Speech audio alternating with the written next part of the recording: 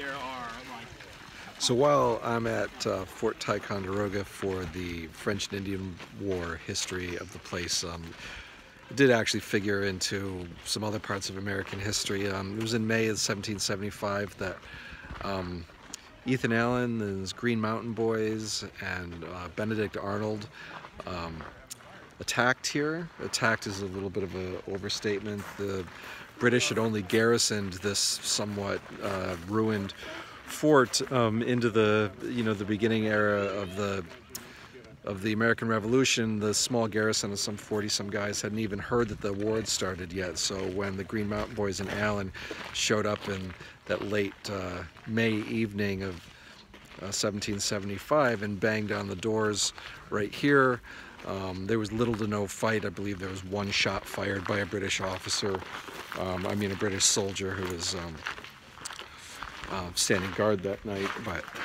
um, it being rainy and they're not expecting attack, they didn't really um, put up much of a defense. The Green Mountain Boys were able to rush in through an unlocked door, and as the famous painting and legend has it, they like storm up here into the officers' quarters and sort of siege the fort without firing a shot. And, and then it's in uh, the winter of 1775 and 76 that um, those guns that are captured here are taken overland um, and then used by the new um, head of artillery for the uh, colonial army.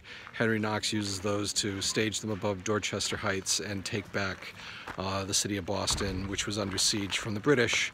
So the uh, history here really goes from the 1600s through the 1700s and well through that period of all those wars and conflicts.